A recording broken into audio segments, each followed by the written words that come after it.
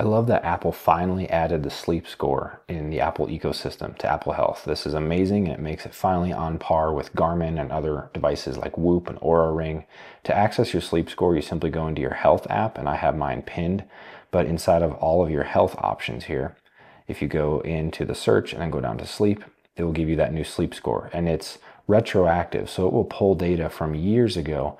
If you've been tracking your sleep data for years with different devices, it will go back and pull it in and give you a score for as long as you've been using the, the sleep tracking. And so that's pretty cool. I find it's a little bit liberal in the score that it gives as compared to like the Garmin. So if it's scoring me like a 92, the Garmin's probably going to score me around an 80 or so. And so it's a little bit higher in that regard. And it doesn't provide a super in-depth explanation like the Garmin does. I mean, it kind of tells you what the sleep score is based on, but the Garmin, for instance, will give you more in-depth about that specific night and what could have contributed to lower scores versus higher scores. But at least Apple has it and they're working on getting it better.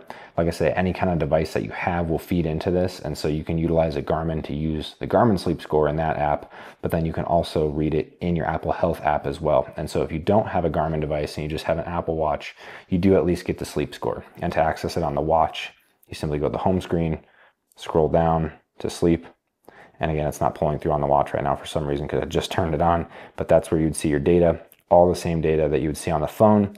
That is pretty cool that Apple finally has the sleep score in the iPhone.